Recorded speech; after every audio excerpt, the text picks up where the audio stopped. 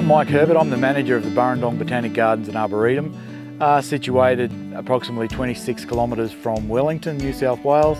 The goal of, of the Arboretum is to provide habitat uh, and a long-standing habitat for endangered species of Australia. Local Land Services approached us regarding the small purple pea, which we knew was on the place, and decided to formalise where we kept it, how it was recognised, and to be part of the overall project to maintain its survival. Surveys were the first thing, find out where we had it. Once those surveys were completed, it was decided to put in an enclosed area to isolate the plants from all species of vertebrates to keep them safe. And then there was continued surveys about it inside and outside. We've also got the public viewing area that we decided to set up so that when the plant is in flower, instead of people having to go into the enclosed area, they can see it as they drive past the road to promote awareness of that plant. Plus, we're working to do cultural burns within the Arboretum as a stock standard weed control method, but in particular in this area where we're going to do studies as to see as the effect on, on the actual purple pea.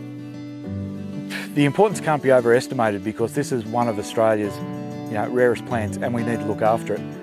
And that's the aim of, of our, you know, our core philosophy is to maintain those type of plants within this area. This is our, uh, my wife uh, Jo and my property. Uh, we call it Limestone and it's 111 hectares adjacent to the Mount Arthur Reserve which is um, four kilometres west of the township of Wellington. It's been a learning curve for me, I know that. Um, yes, I mean I knew about the, uh, the, the, the, species and I knew the bit of the background, but actually a friend of mine located it here on the property and said, do you realise you've got some pea here yourself? I said, no I didn't. so he brought it to me and since then, over the last two or three years when, when it was first located, obviously I've just learned a bit more and just become aware of, I suppose, the importance of endangered species generally. Uh, so what happened is when the, we located the, uh, the peak, they suddenly became uh, very much interested in let's try to look after it and let's try to protect it. And I guess in some ways we're a bit lucky in the sense that uh, it, it's on the, towards the sort of southeastern corner of the property and so it was quite good to be able to, or quite easy and quite effective to be able to fence off the, the, the sort of southern uh, bit of the property, about 15 hectares, uh, is, is fenced off and uh, so that does protect the pea, but it doesn't really, hasn't really disrupted the, the overall management or layout of the property it's, uh, itself. Uh, I certainly was sort of generally aware of really biodiversity, of the problems that grazing in a really fragile environment like this can, can cause.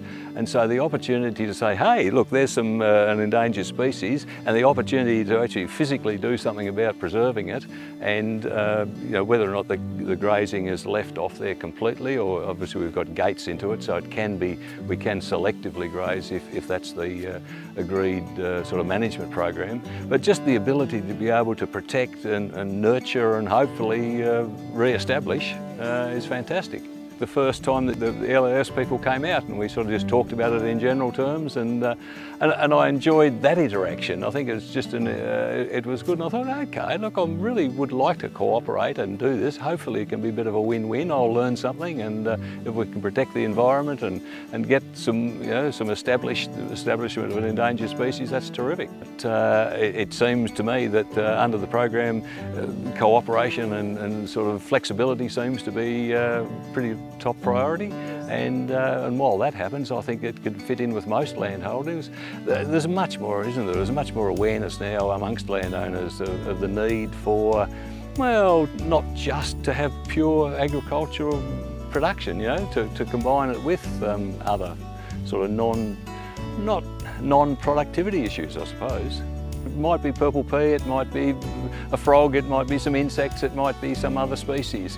It could even be some, uh, some animal. We don't just have fences around a property and we run cattle or sheep or crop inside it. We've got to be aware of the much bigger picture and a project like this certainly brings that thought to the fore. You know, it really does highlight what's important other than just growing more wool or fattening more cattle.